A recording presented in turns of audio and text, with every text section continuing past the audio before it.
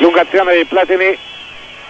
Intuiscono le sue intenzioni i difensori dello Sparta Salta Berger si incrocia con Salta Berger al dribbling. Scirea su di lui. Vantaggio gran sventola ribattuta poi rigore. Calcio di rigore. Calcio di rigore decretato dall'arbitro.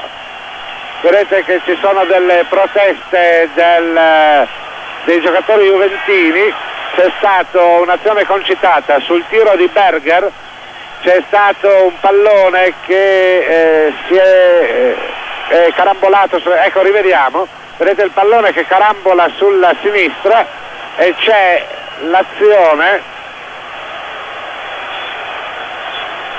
fallosa forse di Tardelli, nel mio monitor tra l'altro ricoperto di gocce d'acqua, non è che abbia visto molto bene quello che è successo, si è visto soltanto un intervento sul pallone praticamente in contemporanea dei due giocatori, fatto sta che l'arbitro al 33esimo del secondo tempo ha decretato questo calcio di rigore a favore dello Sparta di Praga che ora naturalmente Berger tenta di trasformare. Parte Berger, tiro, gol.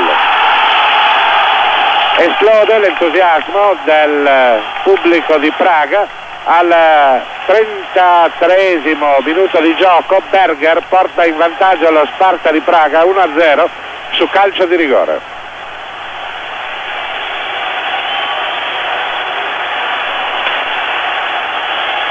Rivediamo l'esecuzione di Berger, vedete il suo destro che non lascia scampo a Bodini. Inquadrato Berger,